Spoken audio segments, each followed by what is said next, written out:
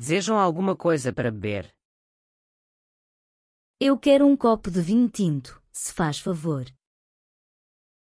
E para mim pode ser uma cerveja. Estou com fome. Eu também. O que vai comer? Não sei, ainda não decidi.